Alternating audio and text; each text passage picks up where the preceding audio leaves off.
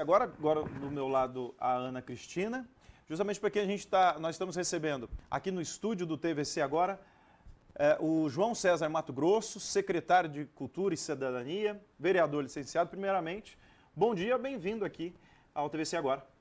Bom dia, Rude, bom dia, Ana. É um prazer estar aqui conversando com vocês, com os telespectadores, para falar um pouquinho a respeito das ações da CECIC, da Secretaria de Cidadania e Cultura do Estado do Mato Grosso do Sul.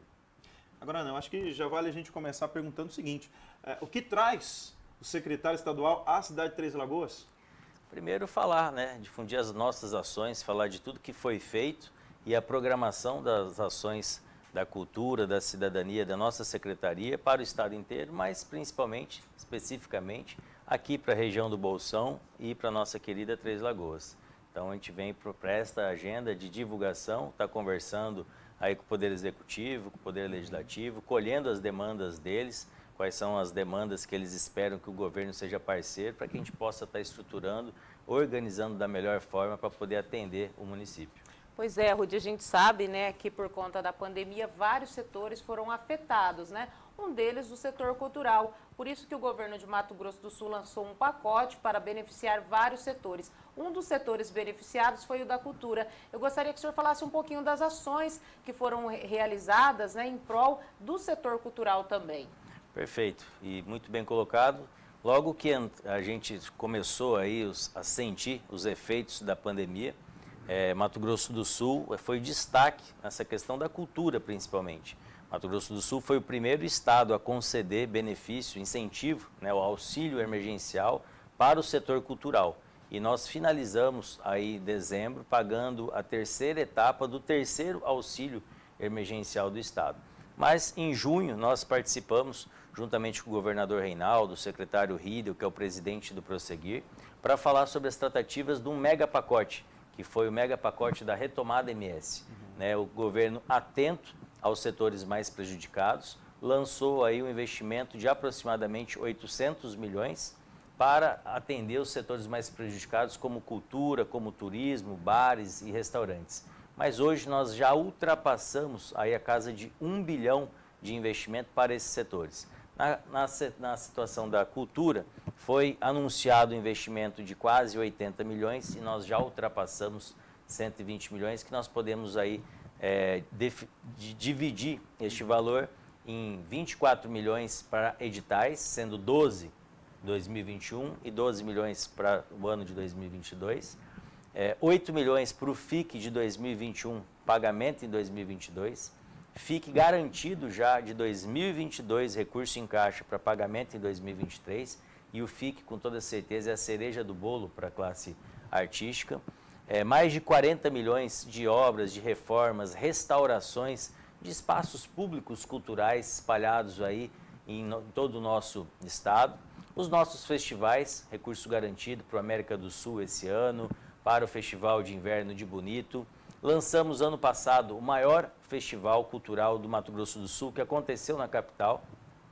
Foram 14 dias de cultura, a gente fala que Campo Grande respirou cultura por 14 dias, espalhando aí quase todas as formas de cultura na nossa cidade. Falamos de grafite, de muralismo, de é, cultura afro-brasileira, diversidade, shows, palestras, culinária. Então foi realmente um, um festival que chamou a atenção da mídia nacional. Né? A gente viu aí o UOL divulgar nosso Festival do Campão Cultural, Legal. Folha, Terra e recurso garantido para a segunda etapa esse ano.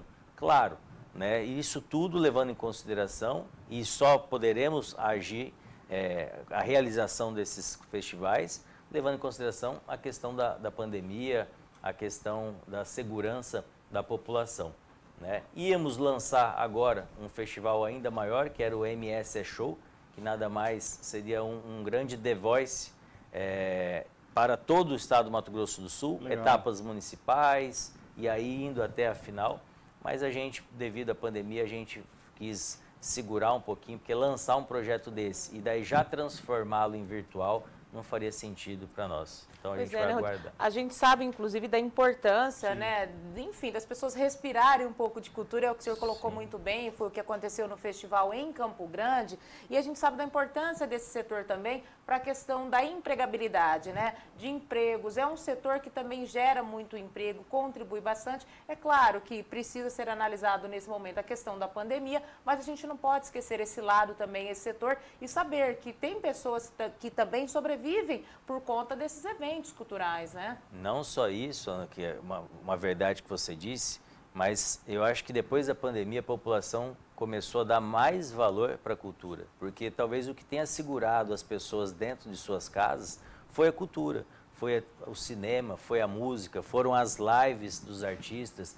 Então a gente mostra que realmente a cultura precisa ser cada vez mais valorizada. E quando eu digo cultura, todas as formas de cultura, não é só o show. A gente fala de culinária, a gente fala de, de grafite, de skate, de todas as formas de cultura que eu falo que um povo sem cultura é um povo sem história.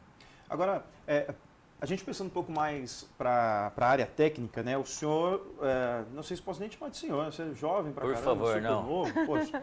É que é, é, é a força do hábito. 22 anos, pode ser você. 22? 38. Não, tá bem, tá bem para 22 anos.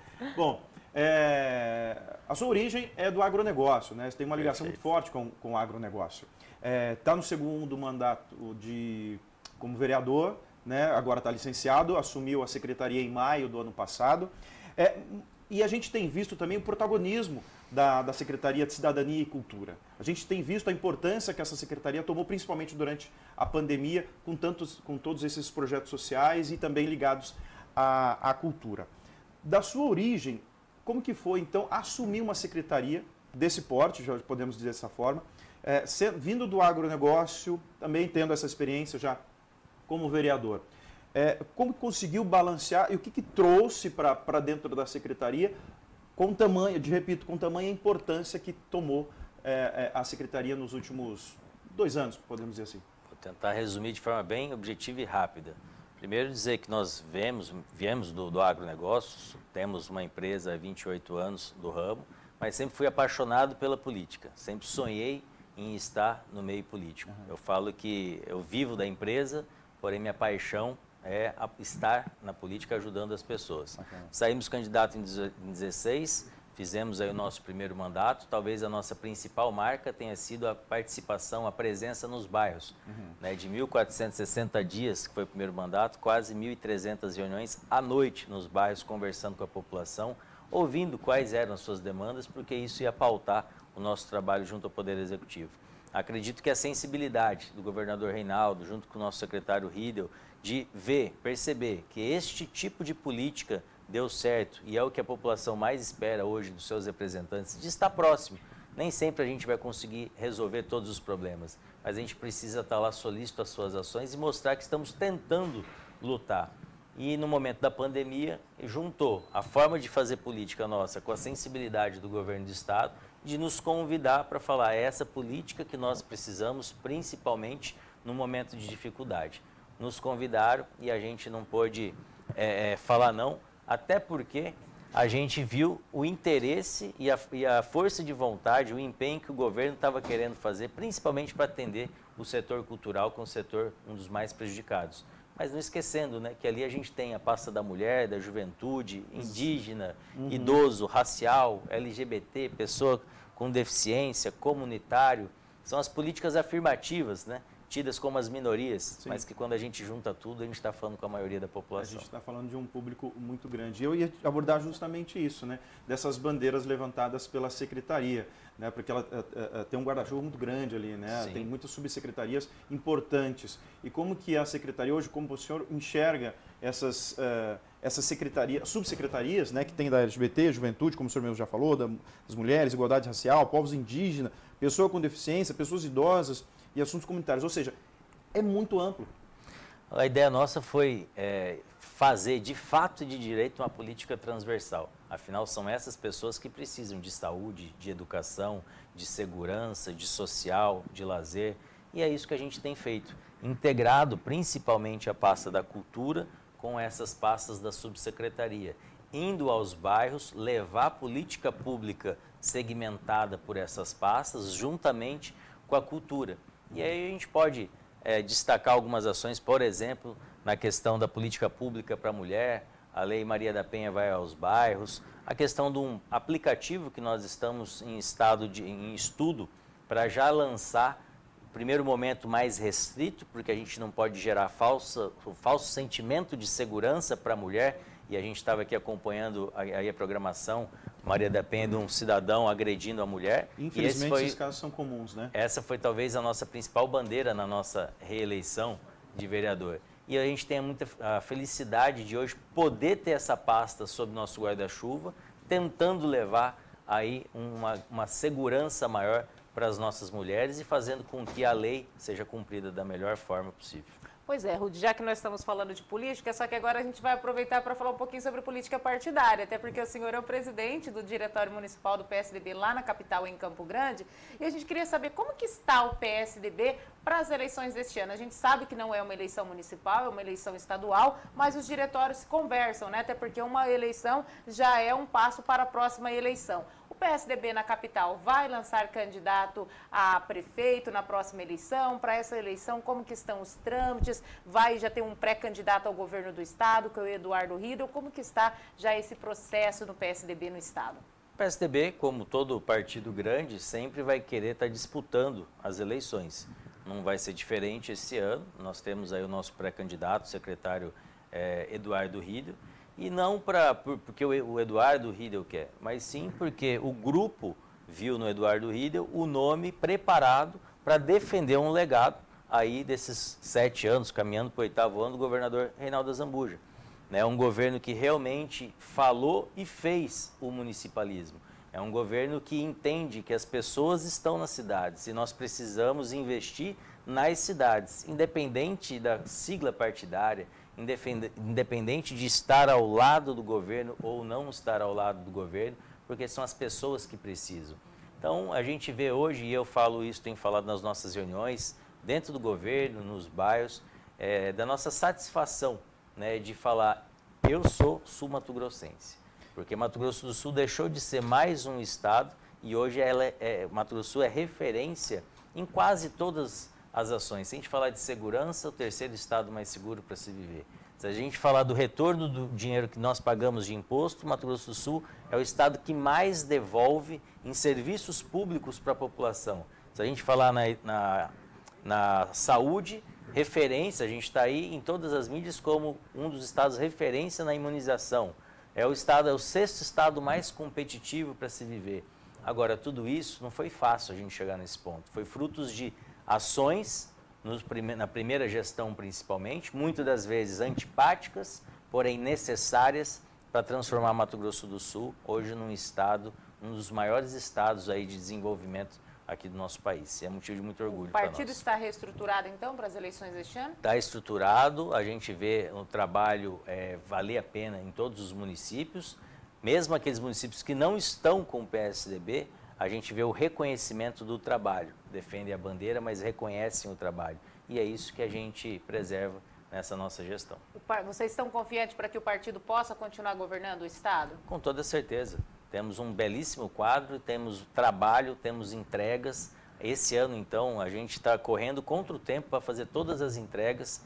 Então, assim, é motivo de orgulho e a gente sabe aonde a gente pode chegar e vai ser muito bonito ver esse estado dar continuidade a um trabalho de, do municipalismo do PSDB. E a capital é um sonho do PSDB ainda administrar? Com toda certeza, a capital, o estado, a união, a gente com todo, com todo respeito, e a gente respeita até porque política ela é feita não só olhando para dentro do seu partido, mas com os parceiros, é assim. e a gente chegou ao poder e a nossa reeleição do poder no nome do nosso governador Reinaldo com grandes parceiros. Então, tudo isso é uma questão de conversa, uma questão de estruturação, saber a hora de você abrir mão de um espaço para deixar o seu companheiro também participar. E essas conversas estão sendo feitas também através do diretório estadual, do nosso presidente Sérgio de Paula, das nossas lideranças e nosso, da nossa liderança maior, governador Reinaldo Zambuja. Não, então já que a gente está nessa seara de política, já antes da gente encerrar esse bloco, o diretor já deve estar tá maluco a gente lá, querendo que a gente feche esse bloco. Eu não posso deixar de perguntar então o seguinte, pensando no cenário nacional. A gente está em ano de eleição, tem as eleições estaduais, o cenário nacional tem chamado bastante atenção, tem mobilizado muitos estados e Mato Grosso do Sul a gente tem visto que está sendo muito visitado, está sendo muito assediado por diversos candidatos à presidência. O estado tem a sua pré-candidata, que é a Simone Tebet. E se ventilou na, na mídia nacional uma, um, um, uma certa divisão dentro do, do PSDB. Parte do partido quer apoiar João Dória e uma parte, talvez por ter talvez uma simpatia com a, a pré-candidata Simone Tebet, gostaria de dar esse apoio a ela. O senhor, como presidente do diretório municipal, estando lá dentro, o que, que tem a dizer sobre esse, essa, essa notícia que acabou sendo veiculada essa semana? Talvez se você perguntasse para mim há anos atrás, eu ia falar, claro que o João Dória é do meu partido. Mas analisando a política como eu imagino como ela deve ser feita e também defendendo o nosso Estado e as nossas, é, as nossas bandeiras, é lógico que eu defendo essa união e o nome da nossa senadora Simone Tebet. E é muito bom a gente ver não só o nome de Simone Tebet, mas de Tereza Cristina como uma possível vice-candidata a, é, a presidente, uhum. de Luiz Henrique Mandetta como um possível nome de vice. Nós tivemos aí no início do governo Bolsonaro dois ministros, tivemos antes Marum, e é isso que eu estou falando, Mato Grosso do Sul tem se destacado politicamente falando. Sim. Mas voltando para a pergunta, eu sou defensor do nome de Simone Tebet ao nome de, de João Dória. Então, dentro do partido existe tiver, esse racha aí? Nacionalmente tem esse racha. Aqui não foi discutido isso, até porque aqui a gente pouco interfere, seria mais com os nossos deputados federais, uhum. né, para poder fazer parte dessa, dessa, dessa conversa. Agora, se chegar na base municipal, com toda certeza defenderei aí o nome da nossa senadora Simone Tebet. Perfeito. É isso, né, Fechou, Rudy? Né? Fechou, exatamente. A gente quer agradecer. Né? Secretário, né? muito obrigado pela sua presença, pela conversa franca e direta, sem, sem rodeios, e assim que a gente gosta, viu? Obrigado, eu que agradeço aí a oportunidade de estar conversando com vocês, com os telespectadores e dizer que a nossa secretaria está de portas abertas. Quem quiser ir lá conversar, levar algum tipo de demanda, seja da parte da cidadania, seja da parte da cultura, é só nos buscar aí pelas mídias sociais ou através do telefone mesmo da governadoria, que estaremos aí de portas abertas para atendê-los da melhor forma possível.